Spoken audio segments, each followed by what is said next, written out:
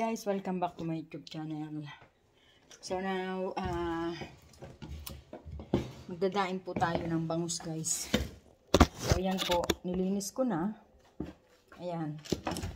So, lagyan po natin ng bawang. At, ayan na po. Nalinis na natin, natanggal ko na yung mga, yung mga, ito tinik. Ang gagawin natin guys, dadaing natin siya. Daing natin. Gasan muna natin guys. Make sure na malinis.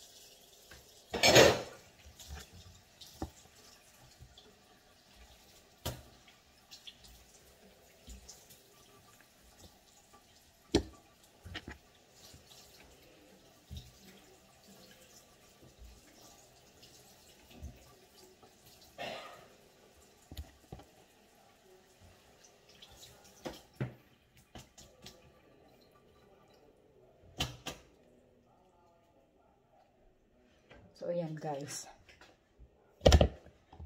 Hindi ko po inalis yung kaliskis. Pag nagdadaing kami guys, daing kapampangan, hindi natin ina, hindi inaalis ang ang uh, kaliskis.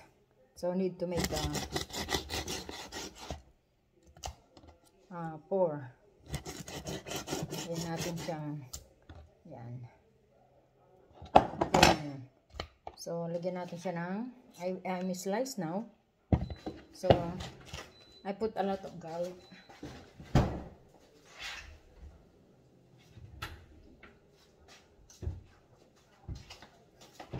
Garlic and soy sauce. So, ayan guys. Lagyan natin siya ng soy sauce.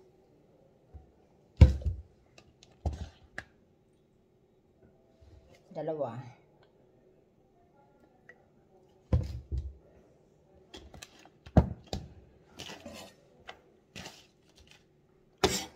Garlic,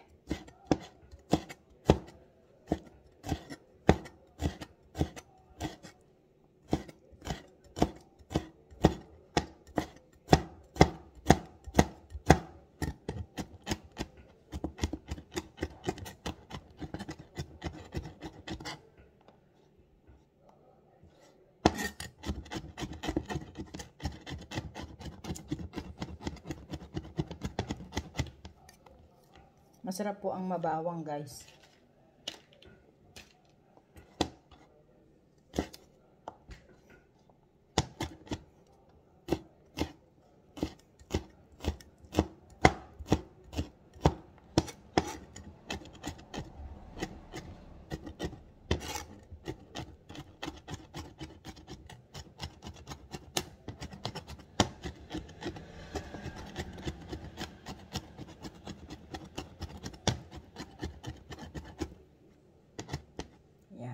Lagyan na natin.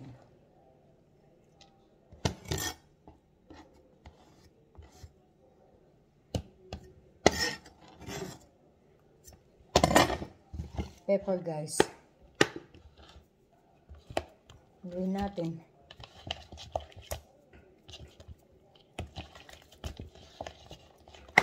At magic syrup. Magic syrup guys. Para masarap.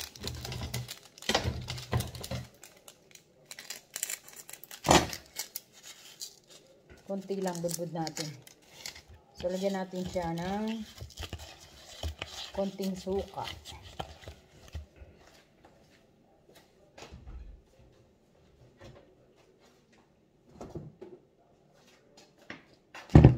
The vinegar guys. This is the white vinegar. So, konti lang. Ayan.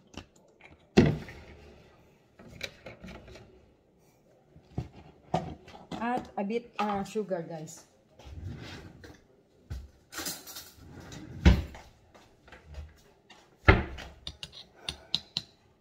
Sugar. Gawin natin, guys. Mas mainam yung sauce niya. So, ayan. Para medyo matamis siya, guys. Masarap. So, ayan, guys. Haluhaluin lang. Ayan. Masarap po to guys. Ayan. Lagyan natin siya ng konting RG. Yan, konting idea guys. Mix natin dun sa pinaka-sauce. Depende po kasi sa paggawa ng uh, daing na bangus guys. This is a daing bangus. Yung iba binibilad o imamarinate ko yan. I-stack ko siya sa rep. Hanggang pagka gustong kumain, may kakainin ako. Ayan po. So, ayan. Lagyan pa natin ng konting toyo.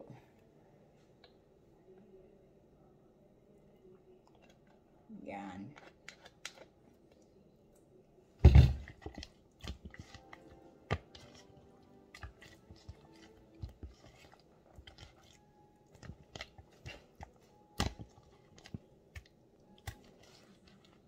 So, ayan guys. Malinis po yung ibang bituka niya, kaya sinama ko. Ayan.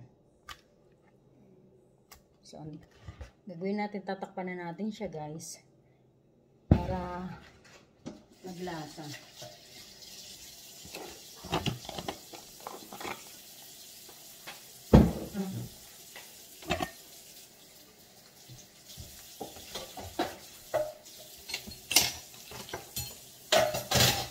Linisin natin ang mga pinagamitan natin para malinis ang kapaligiran. Ika nga. Kasi lang kung sakit sa number one sakit yan, kailangan malinis po tayo guys.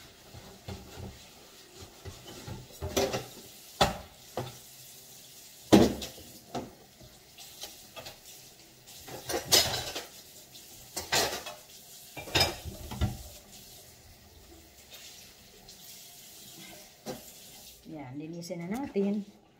So, mamarinade natin siya guys. Takpan natin siya ng plastic. Yan guys. Tapos lagyan natin sa fridge. Yan. Mamaya maya kukuha po ako ng siguro mga isang piraso lang. Ganyan, ganyanin mo lang guys. Oh. Para yung mag, magbalik-balik na siya. Yan. And I put the fridge guys. This is the uh, milky uh, milk uh, peace milk. Milk peace, I mean. sa Tagalog po at sa Kapampangan ay isa lang, bangus. So nabili po namin dito, I think is $8. Depend po sa size. So ayan guys. Mamaya luluto ko na siya pag na-marinade na. Stock na muna natin dito para antayin ko munang mag uh, la, magkuha yung lasa at saka yung mga bawang guys para pag kinain mo masarap. So ayan guys.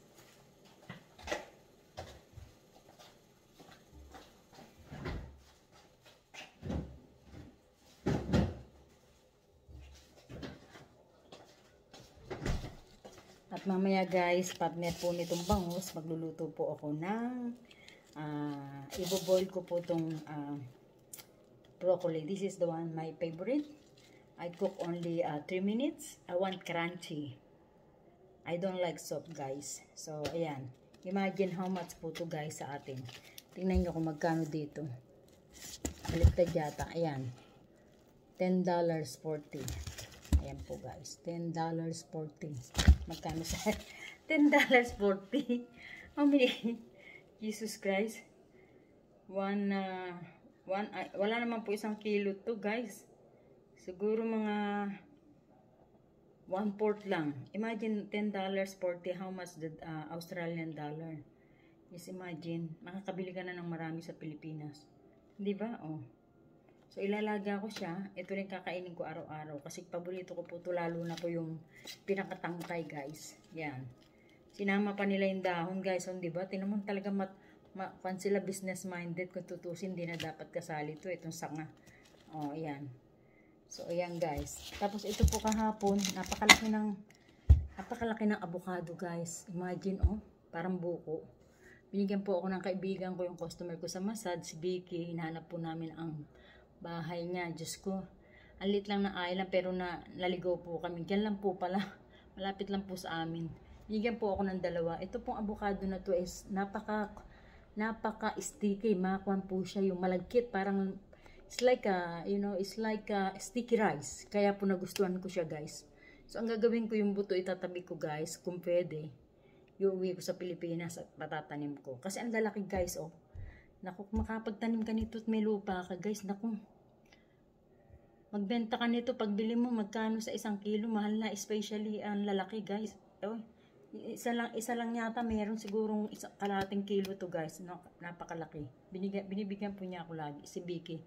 Yung pong teacher sa school, may uh, customer in Masad. So, ayan po guys. So, hanggang dito na lang guys. Yung isa po nasa rep kasi hinog na, yan hindi pa. So, ilalagyan nito, makakain po ako ng kanin at piritong bangus yan. Tipid-tipirin ko po yan. Ako lang kakain ito. So, please subscribe my YouTube channel. Bye! Ingat po kayo lagi mga kapatid, mga kalahi, mga kababayan.